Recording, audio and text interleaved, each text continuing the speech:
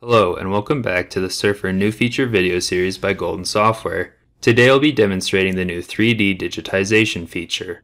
Exploration geologists and environmental health professionals can use this new feature in a variety of functions, such as to obtain the XYZ coordinates of specific hazard locations on or below a surface, or to determine the coordinates of points along subsurface drill hole paths.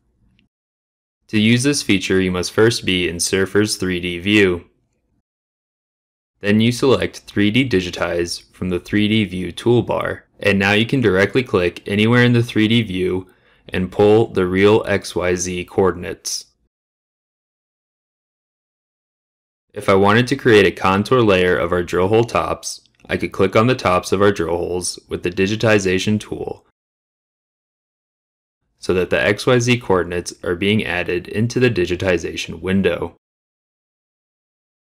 Once I have all my coordinates, I can then click Save, Save As, and save these as a DAT file for gridding later. Another way to use the digitization feature would be to collect points along the drill hole path. In a new digitization instance, I could digitize a few points along drill hole 2 Then once finished, click Save, Save As, and save these as a DAT file to add as a post map back in the 2D view. Now that I'm back here in the 2D view, I could add those drill hole tops as a contour layer to determine the slight elevation differences between them,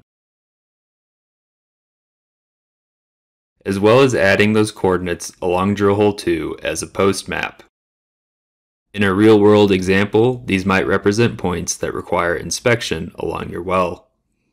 We hope you enjoy this new digitization feature available in Surfer 23 and above. And if you have any questions or concerns, please contact Surfer Support at goldensoftware.com.